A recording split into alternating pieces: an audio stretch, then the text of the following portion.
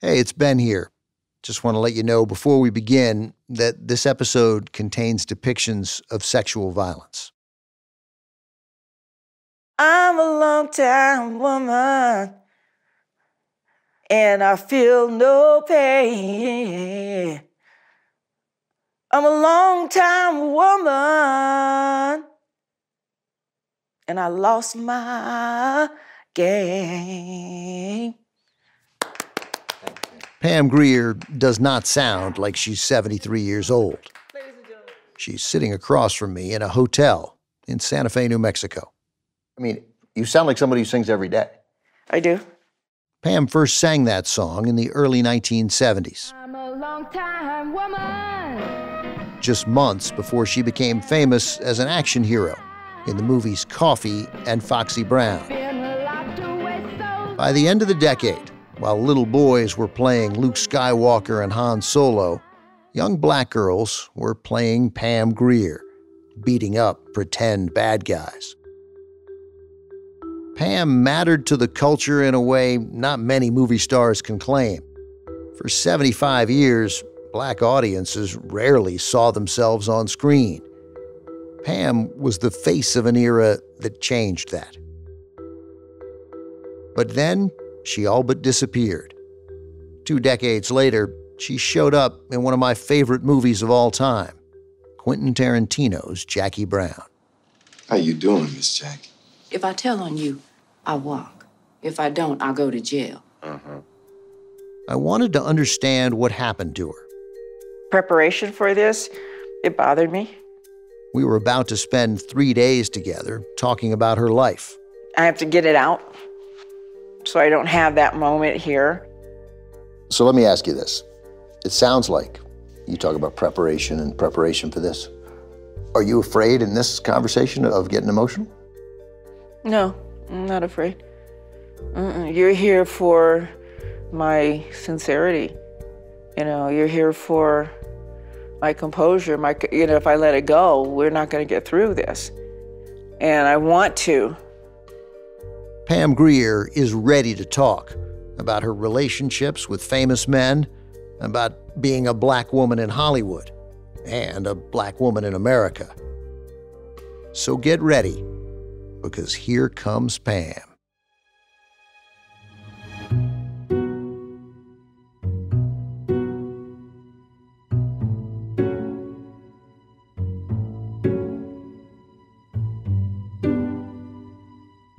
I'm your host, Ben Mankiewicz. You're listening to Season 4 of The Plot Thickens, a podcast from Turner Classic Movies. Each season, we bring you an in depth story about the movies and the people who make them. This season, Pam Grier, and how she rose to become the queen of blaxploitation films and Hollywood's first female action hero. Have no fear. Pam Grier is here. She was just this total badass on film. That moment in Foxy Brown when she touches the back of her afro and pulls a pistol out from her hair. Death is too easy for you, bitch. Guys and gals were going crazy over her.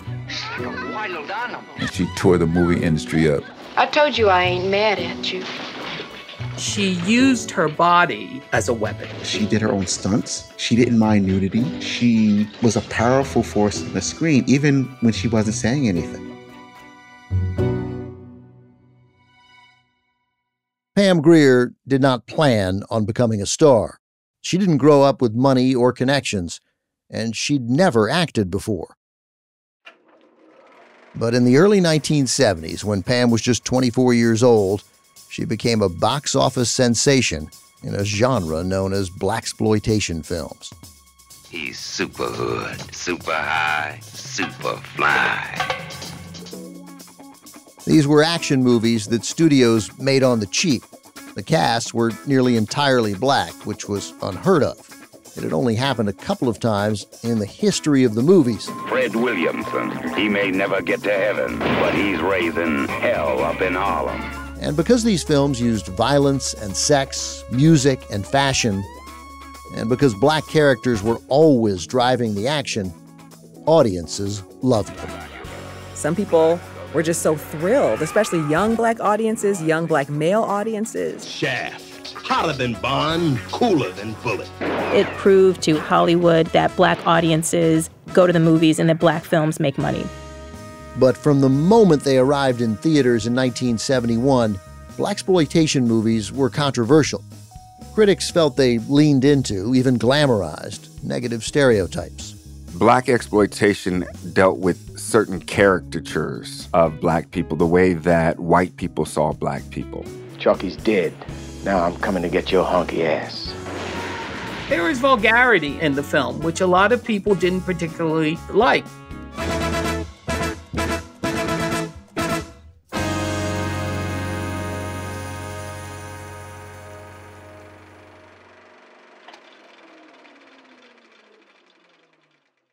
Became famous in the 70s when Hollywood went wild. I couldn't walk on the street. There'd be 5,000 people. She fell in love with some of the most extraordinary men of the decade. The biggest basketball star in the world, and the most famous comedian in the country. I didn't have a level of trust, it was broken. I was so hoping he would say, Yes, I'll take care of you. And he chose not to. But things changed as the 70s came to an end. Pam's career was in shambles. She either left Hollywood or Hollywood left her. I wanted to know which of these was true, and I wanted to know why. So I talked to her friends and colleagues, and most importantly, I talked to Pam. This is real. This is the truth. And this is all I have left. We started at the beginning in an area of the country where Pam returned to time and again. This is episode one The Black West.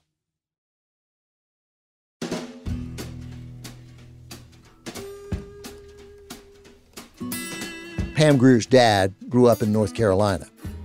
His name was Clarence Ransom Grier. Her mom is Gwendolyn Davis. She grew up on a farm in Cheyenne, Wyoming. She went by Gwen. In 1949, they were living in Denver, Colorado. Gwen was pregnant. My mom was about to give birth, and for some reason at that time they felt it convenient to go meet my dad's parents in Winston-Salem, North Carolina. Clarence and Gwen drove from Denver to North Carolina in two days. They used the Green Book.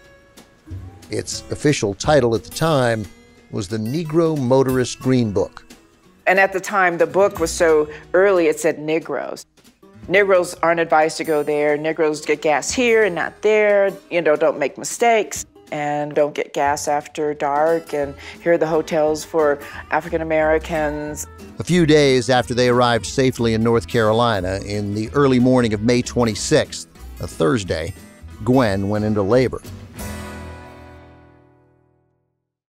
Pam was born into a military family, and like most military families, they moved around a lot.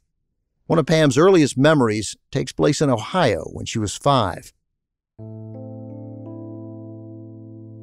It was a hot day. Pam and her mom were taking the bus home after getting groceries. We went from tree to tree to get shade and rest. Then the bus would come and we go out and they wouldn't stop. They'd keep going. So we'd go back to a tree and keep walking. The buses kept passing them, even though there was plenty of room.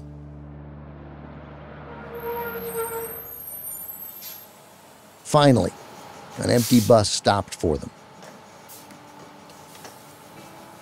And he stopped and he opened the door. He opened the door for, for us. I'll never forget that.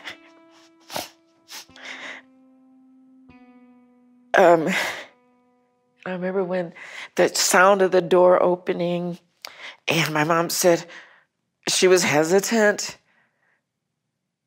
If she's seen in the bus, will he get in trouble? Will they get in trouble? Will we get in trouble? And we, she walked with such hesitancy towards this man, and he was looking at her And then as soon as we got close, he just looked ahead as if, okay, the door was open, you got on the bus. I didn't tell you. you know, he looked ahead.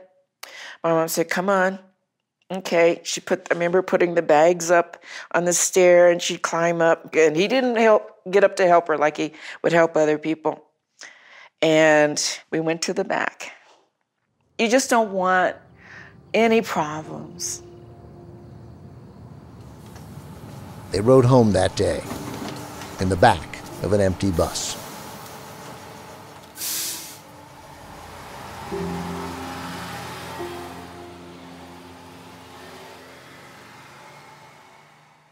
A year later, Pam's dad was transferred to Lowry Air Force Base in Denver. That's where Gwen's family lived.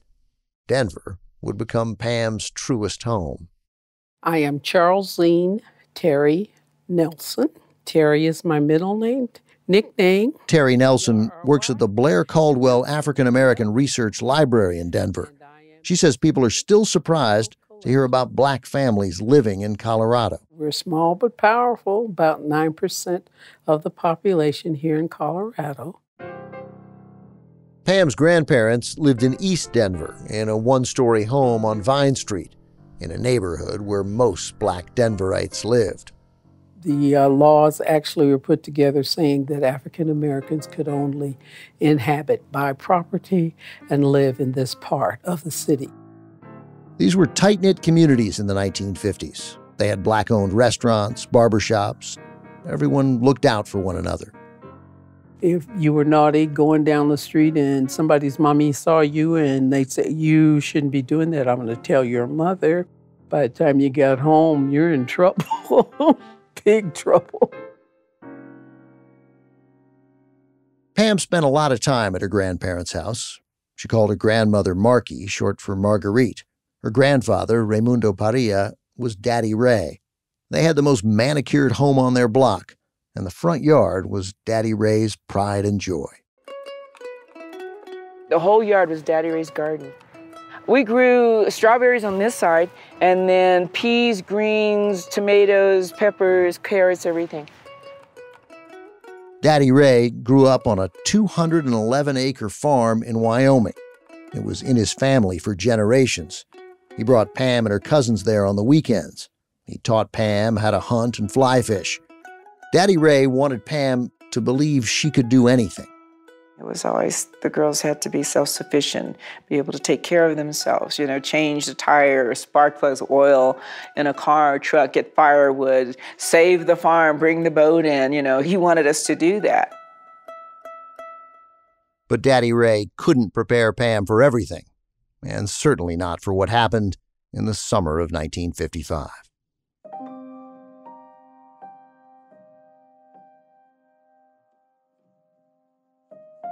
It was shortly after Pam turned six, and it would change her in ways she couldn't possibly understand at the time. We're at my aunt's in the projects. Pam's talking about her mom's sister, Menon. Pam's family lived with her sometimes while Clarence was working on base. Aunt Menon had four children of her own. She lived in public housing in the Five Points neighborhood. And she was working, my mom was working, my dad was away on another airbase, and there was a lot of kids in, in the room, and the older kids watched the younger kids, so there really wasn't any supervision. Three boys from the neighborhood were playing in the house upstairs. They were somewhere between 10 and 12 years old. Pam was alone downstairs, drawing in her coloring book. One of the boys came to the top of the stairs and yelled down to Pam. They said, Come up, Pammy, come upstairs. We're having a sock fight. We had sock fights all the time, playing games and stuff. It's like, Oh, yeah, uh, I'm running up the stairs.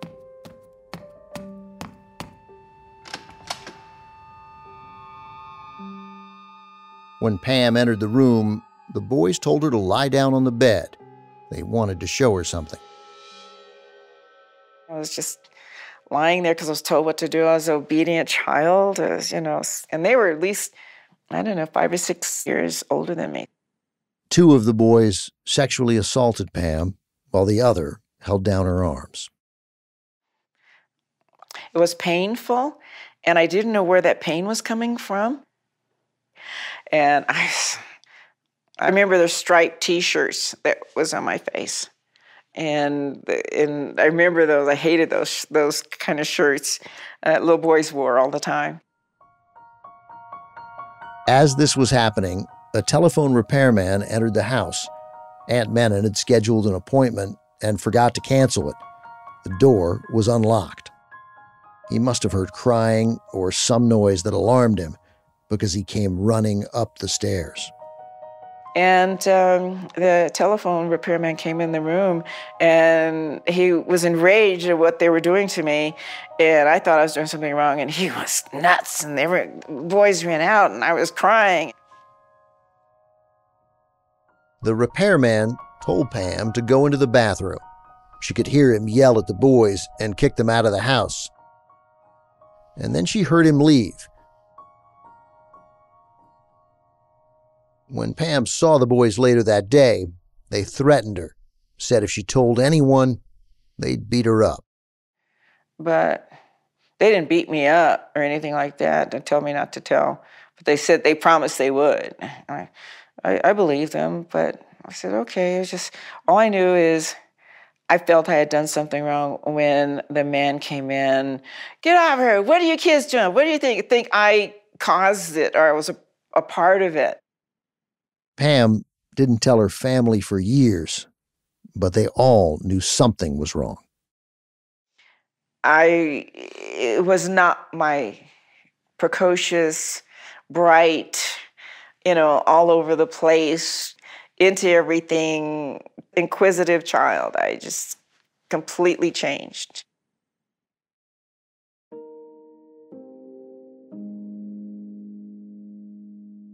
This wasn't the only time Pam was sexually assaulted. It happened two more times in her 20s. She didn't talk about it for more than two decades. And then she decided to share her story as a way to heal. After that day at her aunt's house, Pam withdrew. She developed a stutter, one she would have off and on for years to come. Daddy Ray worried about Pam my grandfather kind of took me under his wing to try to help me get through life. He took her up to the family farm in Wyoming more often. Pam's Uncle Daniel lived on the farm too. He helped take care of the property and the animals, including a very tall horse who Pam called Big Horse. Pam remembers one of those visits especially well. And it's the day that he and my uncle went to a juke joint. It'd be like a bar, and it could, might have a pool table, but buckets of beer and Coca-Cola, Royal RC Cola, not Coca-Cola, but RC. Bottles are different. Chunks of ice for drinking, and they'd play dominoes or bones. The juke joint was right next to the farm. Daddy Ray and Uncle Daniel told Pam to wait in the car while they ran inside. And they opened the door to let me breathe, get air in the car. But Pammy, don't you leave. Don't you just stay there. We'll be right back. And when they left, and it was getting late, and I was like, ah. And then the horse came over to the fence, and I remember getting out and walking over to the horse. It was Big Horse, roaming through the pasture. Pam had always been afraid of him, but curious too. When she'd asked if she could ride Big Horse, the answer was always no. I hear Daddy Ray's voice Don't get on that horse. Don't go in the fence. Pam climbed the fence and touched the soft spot on Big Horse's muzzle. I got on the top rail, and the horse was like, okay. And I pulled his mane, pulled myself on top, and it just slid on. It was like sliding across a car. It was so huge. And as soon as I pulled up and was trying to get my other leg around it, because I'd seen people ride, he started moving away from the fence. I was on his back my little skinny legs spread out. and my braids are flopping and my barrettes are falling out as he started walking away and giving me a tour from his elevation. And there was this connection of, I'm going to take you where I go. I want to show you around. I choose you today. I choose you. We go down to this livestock pond, cottonwood trees around, and he goes to drink water and he falls asleep. And I'm like, I'm trying to get back. So I kind of like lay down, you know, on top of him and look around and see everything, the barrenness of the land. I'm asleep. And next thing I know, Pammy, my grandfather and my uncle have been looking for me. They grab me by the waist and lift me. Where you been looking for you? We thought you were there. Was so upset that I had lost their child. They ain't coming home. The women gonna kill him. Daddy Ray and Uncle Daniel led Pam and Big Horse back to the farm. And they noticed something. And they realized that my speech had changed, that I wasn't stuttering or stammering, I was different. And from that day on, I realized how important that my grandfather was so proud of what I did. He became like another dad to me. I started talking more, and he started bringing me up every weekend because the city kids didn't want to come. But I wanted to go see Big Horse that horse saved my life.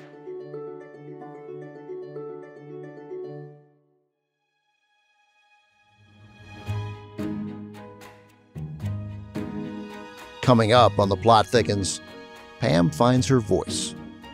And all the guys thought they were the Falcons. I only have eyes for you.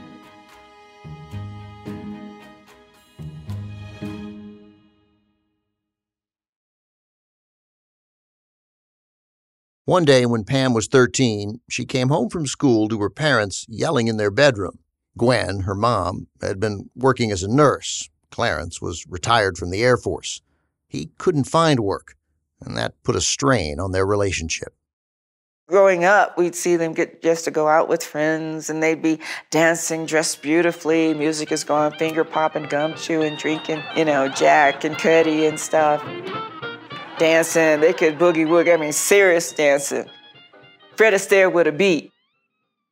And then when he retired, I think what set in was reality of homemaking. And he'll have to learn skills because mom's working. She's at the ER room. She's a nurse. And he didn't have enough to do. When Pam walked by the bedroom where they were fighting, she caught a glimpse of her dad packing a suitcase. He left that day and never saw him again. He moved out, got an apartment and a car, and that was it. We weren't estranged, but I don't know, he just didn't want to be around us. We didn't make plans to do anything, or maybe we'd see him at a funeral. Pam's dad was in the same town, just a couple of miles away, but she never saw him. That feeling of rejection, it would haunt Pam she learned to push it aside to distract herself. And for Pam, music became the ultimate distraction.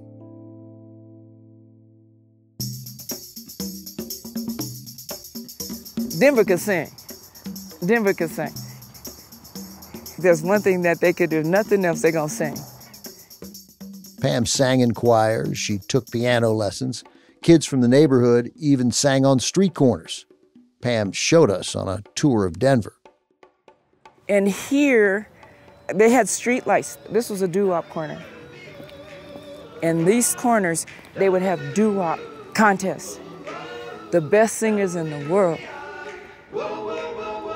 A doo-wop corner was a spot where four singers would stand under the streetlight and harmonize. These quartets would have battles with the quartets across the street. Philip Bailey was in one of them. I'm Philip Bailey from Denver, Colorado. I am the lead singer of the group Earth, Wind, and Fire for 50 years now. and went to the same high school as Pam Grier.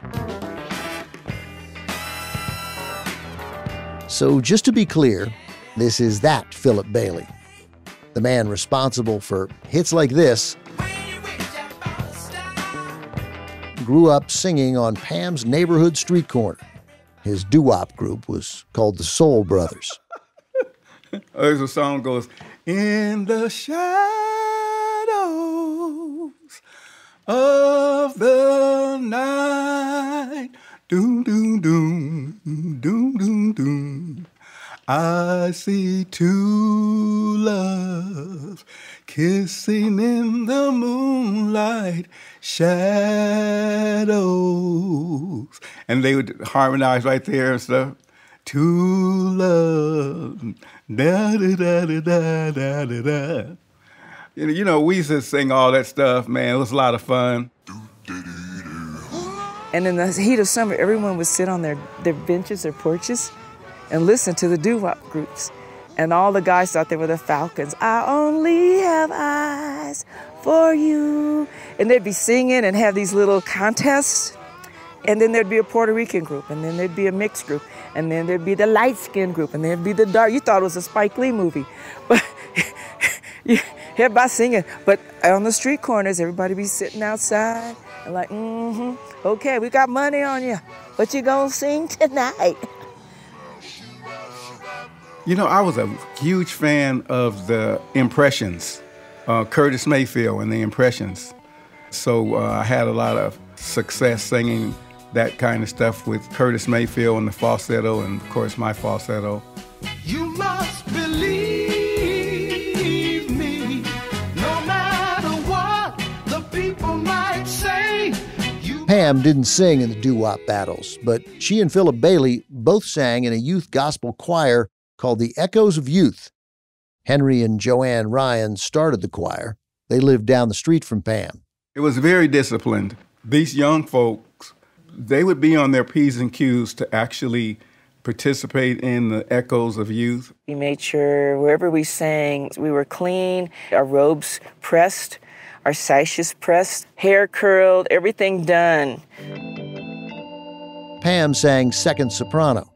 Choir performed at various churches and made money from donations. Mr. Ryan bought the choir burgundy choral robes with yellow sashes. When we walked in, you know, with our robes on, singing, We're crossing over one by one. We're fast approaching life setting sun. Don't, I'm, I'm not gonna have a voice tomorrow when I'm playing. Don't let it happen till our work's undone.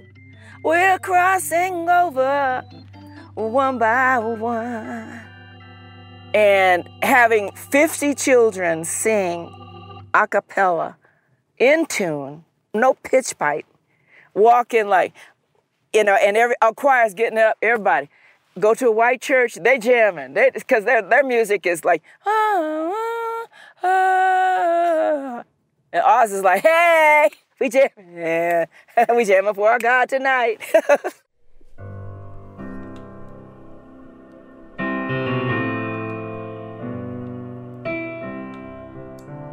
I played for the church all of my life, so almost 70 years. That's Reverend Hayward Hobbs playing the keyboard. He's the minister of music at the St. Stephen Missionary Baptist Church in Denver. I'm Reverend Hobbs. I'm Hayward. Everybody calls me Uncle Butch. Back in 1965, Reverend Hobbs was the musical director for the Echoes of Youth.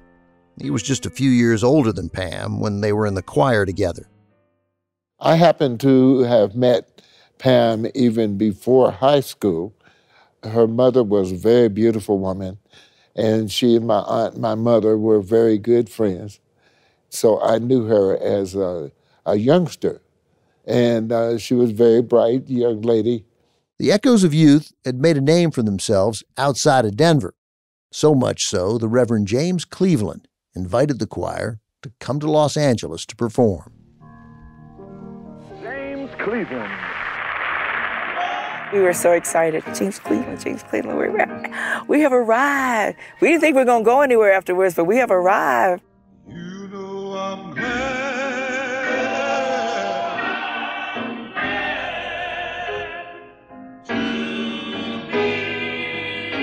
Reverend Cleveland was known as the King of Gospel. Getting invited to perform in his gospel celebration was a big deal. The choir didn't have the money to rent a bus or buy plane tickets, but they were determined to get to Los Angeles one way or another.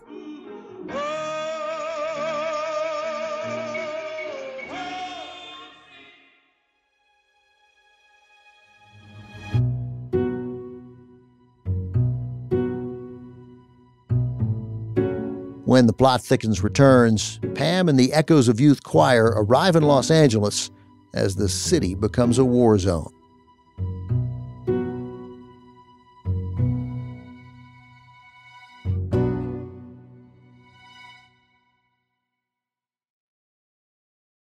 Henry and Joanne Ryan, the couple who founded the Echoes of Youth, had to figure out how to get the choir to Los Angeles.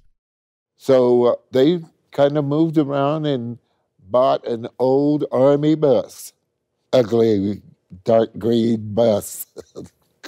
It was woo. It's like we're gonna have to push today, aren't we? Let, where is he? Where's that Lord? He round the corner having a beer. Well, get him out here to push this big ass bus. Finally, on August 8th, 35 teenagers got on that old army bus and headed to James Cleveland's gospel celebration. The Ryans were the chaperones. Philip Bailey, one of the choir's most talented singers, who'd go on to be part of Earth, Wind, and Fire, couldn't go. His mother was a domestic worker. I don't think my mother could afford it. I definitely wanted to go, but I was my mom was a single mom, and uh, we didn't have it like that. Reverend Hobbs remembers they left early in the morning and traveled overnight. I do believe I remember we had some bus trouble on the way, but we've got that taken care of. It took a day and a half to get to Los Angeles. Their first performance in Compton went well. On the second day, they headed to Watts, a working class black neighborhood in South Los Angeles. They were scheduled to perform that evening. August 11th, 1965. What they couldn't know was that at 7 that night, on the corner of Avalon Boulevard and 116th Street in Watts, years of frustration were coming to a head. Two young Negroes were stopped by California highway patrolmen and charged with drunk driving. There was a scuffle and a crowd gathered. Brothers Ronald and Marquette Frye were pulled over by two white police officers for reckless driving. One of them, Marquette Frye, who was 21, failed a sobriety test. As the police questioned the two men, a crowd started to gather around them. The mother of the two, they are brothers, joined in, and she and another woman the crowd thought was pregnant were pushed and shoved. A fight broke out, and a white police officer struck Marquette Frye in the face with his baton. Frye was arrested along with his mother and brother. The crowd grew angrier, and more officers came in for backup. By 745, there were more than 1,000 Watts residents gathered around the scene. That green army bus carrying Pam and the Echoes of Youth Choir drove right into the middle of it. When we got over in that area, we saw people on the street fighting. Of course, coming from here, we'd never seen anything like that, so uh, we didn't actually know what was going on until we were in the midst of it. We were on the bus and gunshots were flying across the top of the bus through the windows, hitting the, I think some hit the side of the bus, and we had to take shelter. Flames today burning quickly, fiercely through a number of buildings. Six buildings were on fire at one time. Police had to force a path through rioters to get fire equipment onto the scenes. We had never seen war in our city before. We knew it was serious because there was smoke, cars being turned over, streets blocked. The Watts rebellion spread quickly. The city of Los Angeles was in open revolt. Authorities are increasingly concerned about the number of fires and handguns known to be in the hands of the rioters. We decided to burn the store because we felt this man hadn't been doing nothing but gaming on us anyway. What the young choir members saw that night had been brewing for decades. In 25 years, the population in South LA ballooned from 65,000 to more than 300,000. Those living in the mostly black neighborhood of Watts had outdated housing, few grocery stores, and underfunded schools. Police brutality was a part of life. I've tried them all, and I can say to you that there is no question but that under the present machinery, a complaint of police brutality by any Negro citizen goes almost completely unheeded.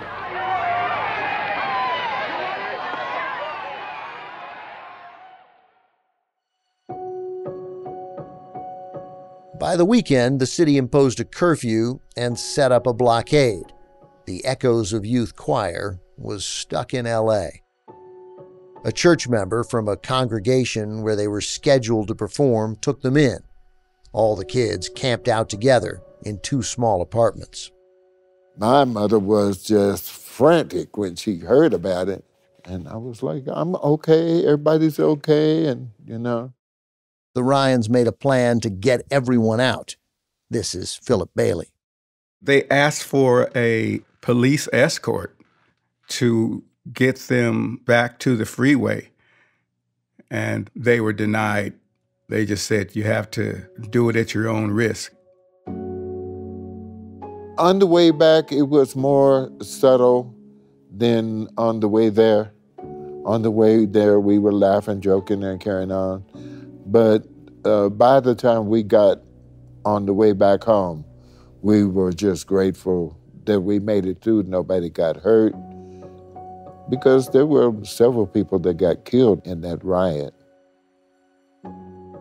The Watts Rebellion lasted six days. 34 people died, more than 1,000 were injured.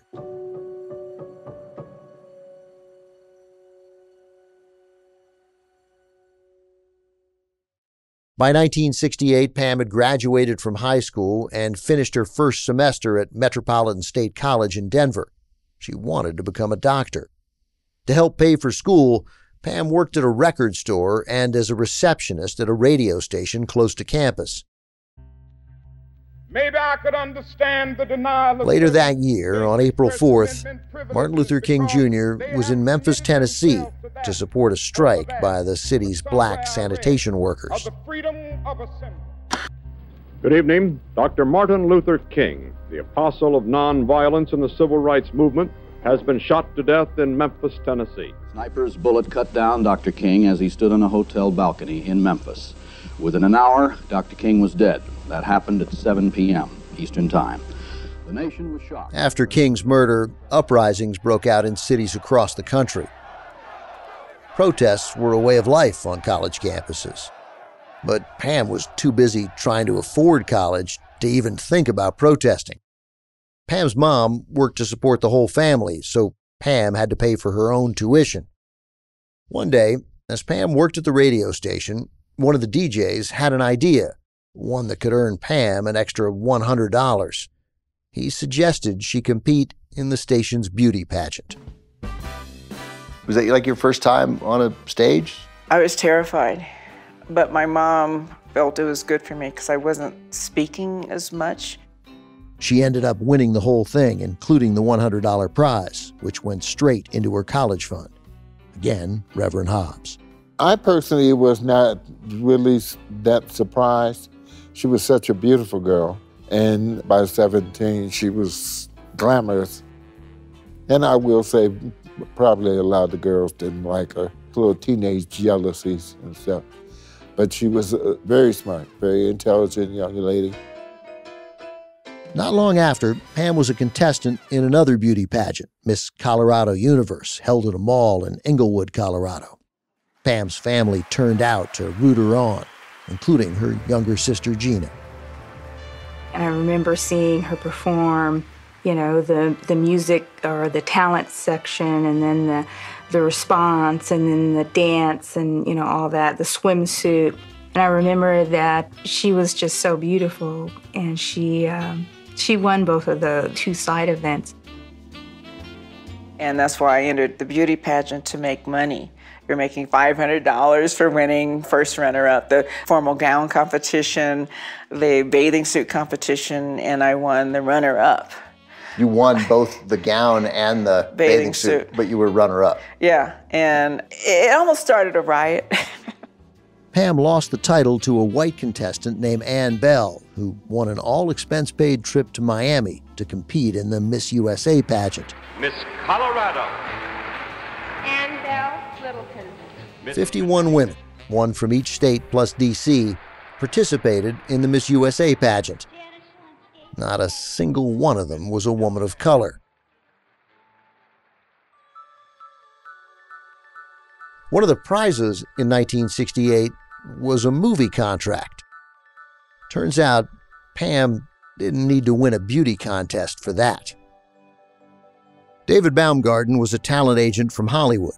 He saw Pam compete in the Denver pageant. David told Pam there were a lot of opportunities for black actors in Hollywood. It would be the perfect time for her to come to Los Angeles. As she drove home that day, Pam went over the whole idea. It was nonsense, she thought. She wanted to be a doctor, not an actor. But she needed money for school. Movies, she thought, must pay more than working at a radio station. Pam did what she would do so often in her life. She said yes to an opportunity. She would head to Hollywood, not to follow a dream, but to take a chance. There were only so many chances for someone like her, and Pam Grier was not about to let this one go by.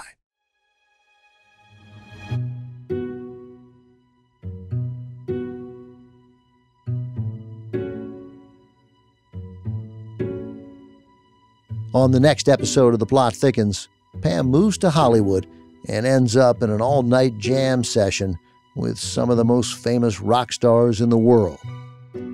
Next thing you know, there's a big ass bowl of cocaine that comes out of him somewhere. And Pam falls in love with one of the greatest basketball players in history. And I was watching everyone, and there was this tall person with sunglasses on in a dark club and a cane. And I was like, God, he's tall. Angela Carone is our director of podcasts. Story editors are Joanne Farian and Sherry O'Kk. Audio editing and sound design by Mike Vulgaris. Script writing by Yaakov Friedman, Rachel Pilgrim, Angela Carone, and me. Yaakov Friedman is our senior producer. James Sheridan is our researcher and fact checker. Mixing by Glenn Matullo and Tim Pelletier. Production support from Julie Biton, Mario Riles, Susanna Zapata, Liz Winter, Allison Fire, Phil Richards, and Reed Hall. Web support by Betsy Gooch. Thanks to David Byrne, Taryn Jacobs, Carolyn Wigmore, Dexter Fedor, Marcy Sacco, Genevieve McGillicuddy, and Mark Wins, and the entire TCM marketing team. Special thanks to Bruce Shapiro at Columbia University's Dart Center for Journalism and Trauma. Original music in the podcast comes from the band Cadillac Jones. Believe it or not, their bass player is also our lawyer, John Renault. Thanks to John, Kristen Hassel, and Solang Moulton. Thomas Avery of Tune Welders composed our theme music. Our executive producer is Charlie Tabesh. TCM's general manager is Pola Changnon. Check out our website at tcm.com backslash the plot thickens. It has info about each episode and photos from throughout Pam's life. Again, that's tcm.com backslash the plot thickens. I'm your host, Ben Mankiewicz. Thanks for listening. See you next time.